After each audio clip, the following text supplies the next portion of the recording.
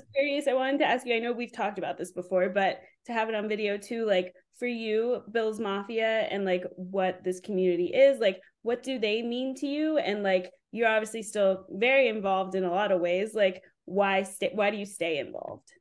Uh, because they had my back, you know, through the ups and downs. You know, mainly through the through the down times. Uh, that's where I really see the loyalty. That's where everybody can see the loyalty. You know, when everything's going good, it's easy to be around. But uh, when things went bad, they were still solid for me. So you know, I just from there on, I, I stay solid to them uh, throughout my life.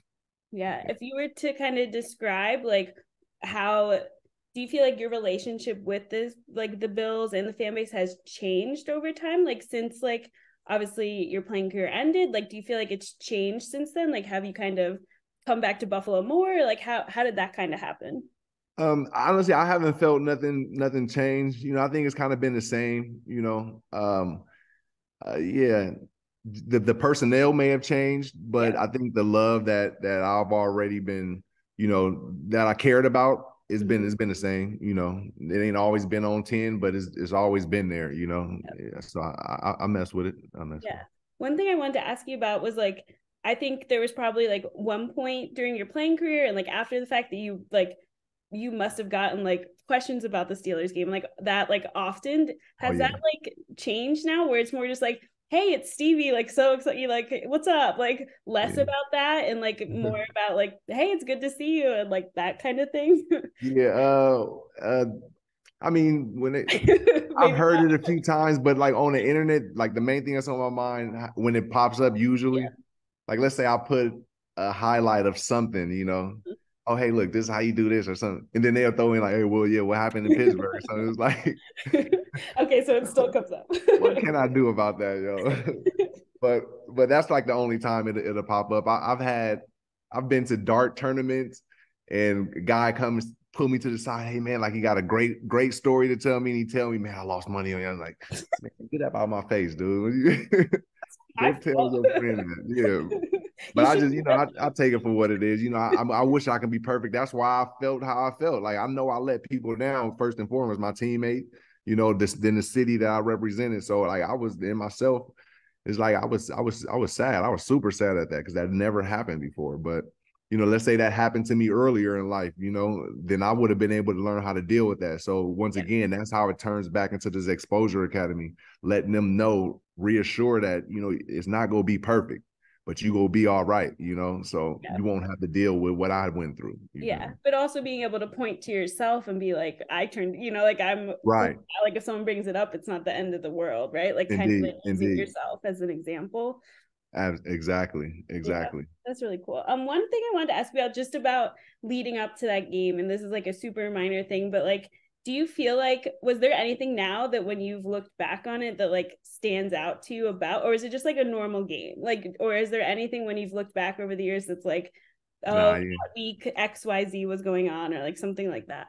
Yeah, nah, I was tripping. It was on me. It was on me to be honest. Like, uh, it actually with that play that had happened, I, I took that play off in practice, you know, like, yeah, I'll, I'll make it, whatever, you know, yeah. and, and, and I missed it. And it was like, you know, that's where it's like, you really got to hustle. You got to stay on it every time. You know, you can't just, even if you got to walk through it and miss it in practice, just get through that motion of it. You know what I'm saying? Because the now the first time that I ran that V route yeah. was in the game. And it's like, dang, of all times, you know.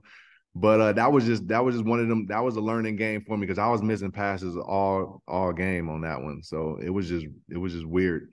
But um, looking back, yeah, it was that practice time. You know, yeah. I I should have I should have kept. I love I usually love practicing. I'm, I'm in every time, but but that time it was like the last rep or something too. It was crazy. It was the last rep too. It was like, man, yeah, go ahead, y'all got it. I've been practicing all day.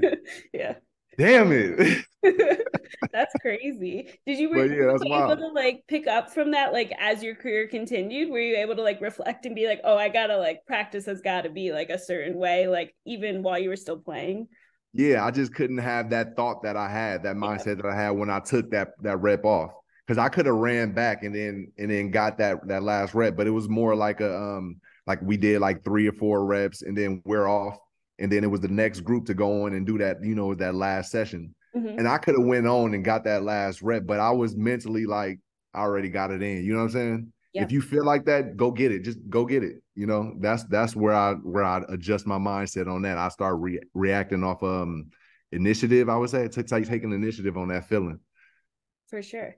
And now I thought one like we're looking back on our original interview, like I thought one thing that was really interesting how you said like you know, like the player fan interaction Buffalo when you first got there was like not as much, like not as extreme. Like it, that was something you thought was really important to like yeah. get going I'm looking now at how like like it's still crazy to me that like with the way these players are like with this fan base that like there was a time it wasn't right right like that. what is that like for you to like kind of now see like that it's such like a close you know like you were a key part in like changing like to what it is now mm. where it's like they it's so it's such a thing that's wild that you even bring that because i didn't even i didn't even think about it like that you know i yeah. knew what i did but dang, that's crazy because like the, the, connection is like this now. Yeah. But it was when I was there, there was no connection at all. It was just wow. The fans was cheering, but there was no reaction from the guys on the field to the to the fans. Yeah. And I just couldn't like, yo, they paying money. They paying money to come see us play football. And you just made a good play and you're not even acknowledging that. Yeah. You know, look at them, they going crazy. I, I, was like, I know exactly how I'm gonna get on this team. You know what I'm saying? I'm gonna yeah. make plays, I'm gonna acknowledge the fans, and they'll love me. And hopefully that's enough for the for the team to, to keep me. Yeah. Um, that was my mindset as a 20 That's year old. Crazy. You know That's really interesting. yeah, it's, like it's if crazy. the fans like me, they'll have a harder time like letting me go, kind yeah, of. Yeah, yeah. And it and it kind of worked that way because the message boards start talking about about my name, you know? Yeah. And um and yeah, so then from there, that's like where I had to think, like, okay, now how do I keep my name going? And without it being so stressful, like like running regular routes. Mm-hmm. So then I was like, that's I'm gonna use basketball moves. And then when I did the basketball, people was like, "Oh snap!" what he doing something different out here. You know, coaches couldn't explain it; they couldn't coach it. The fans loved it, and it kind of like helped because I was a unique asset as a seventh round pick. You know. I just wasn't a basic person or player. Is that why you kind of like wanted to have fun touchdown celebrations, like make them more of a thing? Like, was it along those lines too, or was that something else? Nope. Yeah, that was something else. So I, I only wanted to do like celebrate celebratory things because when I came up playing football, I've seen Deion Deion Sanders and Terrell Owens was my guys mm-hmm. um, that I watched. And um and when I when they scored or whenever they did something good, they was either high stepping or doing some kind of dance. And I felt like, I like that. I want to do that too. If I score, I want to do that. So, you know, as a Pop Warner kid, I doing uh touchdowns and high stepping from the 50 you know, getting in trouble. Then I got to the league, I scoring, getting in trouble. But that was all mm-hmm. personal stuff. Like I just wanted to fulfill that, you know, because yeah. that was my goal, you know. No, for sure. And what is it like now when you kind of do go to games and you see like what it's like when like I mean in my head I have like Jordan Phillips like constantly is like getting the crowd to make noise and like guys like yeah. that who are like really wanting to get them involved is that like i know you maybe didn't connect the two but is that like cool now to be like that has kept going like since i was yeah. Yeah, super cool. It's super cool. It makes me want to be a, a, a, coach, you know, even though I don't want to be a coach, but it just makes me want to be out there and do the same thing as they was as they're doing at that time, you know.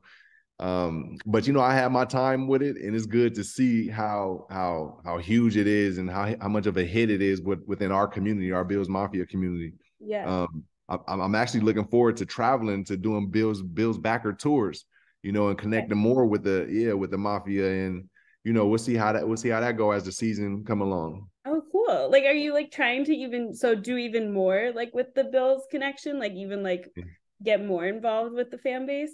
Yeah, definitely. You know, because I, I was looking at how uh, I think it is TNT, not TNT, but TBS or Fox, how they do their thing. And I felt like, you know, we got a pretty unique fan base and they're everywhere, you know. So it's like, let's create something where we can tour and and and set up shop at the bar, at the backer bars, do our podcast and do our community engagement events. And um and I was thinking we have like a, a camp the day before for like the kids and the family, free camp um, that way we involve like the sports and then we go to the to the bar the next day for the game. But um, yeah, I, I connected with a few uh with a few uh, chapters, and you know we it's in the works. It's in the works. So you know we we may be going. So be on the lookout for it. It'll be something fun. Thanks for watching ESPN on YouTube. For live streaming sports and premium content, subscribe to ESPN Plus.